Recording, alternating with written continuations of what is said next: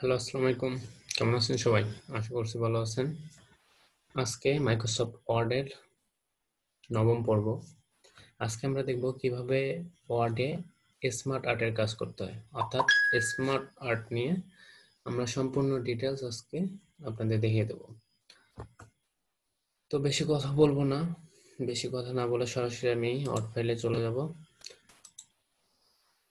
তো আমরা দেখব যে কীভাবে আমরা স্মার্ট আর্টের কাজ করতে পারি রাইট স্মার্ট আর্টের মাধ্যমে কিন্তু আমরা আমাদের যে হচ্ছে টেক্সটগুলো আছে, আমরা আমাদের যে লেটার বলেন টেক্সট বলেন সেন্টেন্স বলেন, অর্থাৎ আমাদের যে পেজটা মেইন পেজটা এই পেজটাকে সুন্দর করে লেখার মধ্যে কিন্তু ফুটিয়ে তুলতে পারি রাইট ওকে তাহলে স্মার্ট শব্দের অর্থটাই তো আপনারা বুঝতেই পারতেছেন, তো স্মার্ট আর্ট এটা আমাদের পেজটাকে ফুটিয়ে তুলবে। তো আমরা স্মার্ট আর্ট সাপোজ এখানে আমরা একটা স্মার্ট আর্ট অ্যাড করব। আমাদের এটা একটা নীতিগত সাপোজ যদিও বা আমি একটা লেটারের প্রথম অংশ লিখে রাখছি জাস্ট আপনাদের বোঝানোর জন্য। সো আপনাদের যেটা অ্যাড করা প্রয়োজন, আপনারা অবশ্যই সেটা অ্যাড করবেন। সো আমরা স্মার্ট অ্যাড অ্যাড করার জন্য আমাদের প্রথমে চলে যেতে হবে ইনসার্ট অপশনে ইনসার্ট অপশন থেকে আমাদের স্মার্ট আর্ট নামে অপশন আছে, এটাতে ক্লিক করতে হবে। ক্লিক করার পর এখানে আপনার অসংখ্য স্মার্ট আর্ট আছে, আপনি একটা একটা করে দেখতে পারেন লিস্ট এখানে কি কি আছে? প্রসেস এখানে কি কি আছে? আপনার যেটা প্রয়োজন, আপনি সুন্দরভাবে সেটা অ্যাড করতে পারেন। সো আমি একটা অ্যাড করতেছি আপনাদের জন্য। আপনারা দেখেন রিলেশনশিপ একটার সাথে একটা রিলেশনশিপ ম্যাট্রিক্স পিরামিড কি? Pyramid picture picture frame office dot com so আমরা কোনটা অ্যাড করব? সাপোজ আমরা এটা অ্যাড করলাম ওকে বুম আমাদের কিন্তু চলে আসলো। এখন আমরা এটাকে কয়েকভাবে এখানে ডাবল ক্লিক করলে আমরা লিখতে পারব। সাপোজ আমাদের যে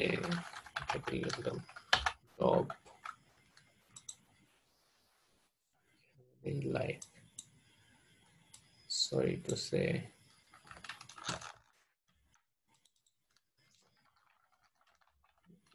life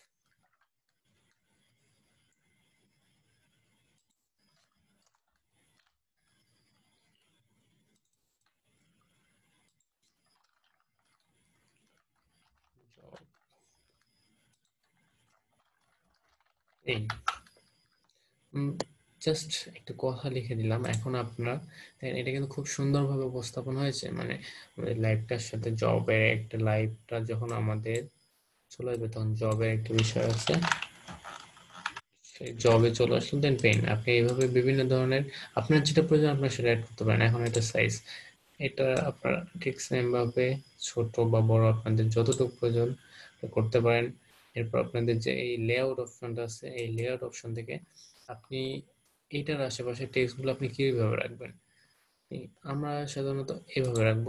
এভাবে রেখে আপনাদেরকে আমি দেখিয়ে দিচ্ছি একটু। তার আগে আরেকটা জিনিস দেখাই দেয় এখানে। এখানে আমরা যে এই ডিজাইনটা করলাম, চাইলে আমরা এই ডিজাইনটা কালার চেঞ্জ করতে পারব। এই ডিজাইনটা আমরা কালার চেঞ্জ করতে পারব, এর জন্য চেঞ্জ কালার অপশনে যেতে হবে। দেন আমরা আমাদের নির্দিষ্ট কালারটা সেট করে দেবো। এই কালারটা দিয়ে এই কালারটা একটু ভালো লাগতেছে। সো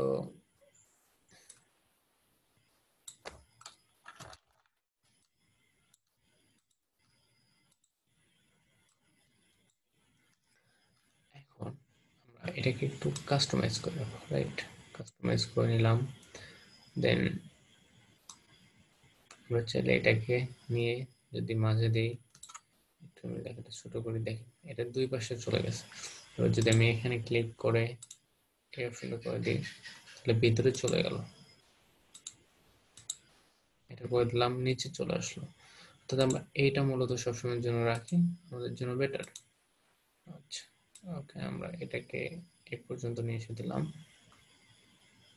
দ্যাটস ইট এই ছিল বিষয়। এখান থেকে আপনারা এটাকে বিভিন্ন টুলস হিসেবে ইউজ করতে পারেন। ওইটা আমি এই অপশনটা দেখে দিচ্ছি এখানে বিভিন্ন আরও একটা অ্যাড করতে পারবেন। আপনার যদি এক্সট্রা আরও কোনো অ্যাড করার প্রয়োজন হয়, তাহলে অবশ্যই এখান থেকে অ্যাড করবেন। তো এই ছিল বিষয়। আপনার সাপোজ কালারটা ভুল হয়ে গেছিল, আপনি এখান থেকে রিজেক্ট করে নেবেন।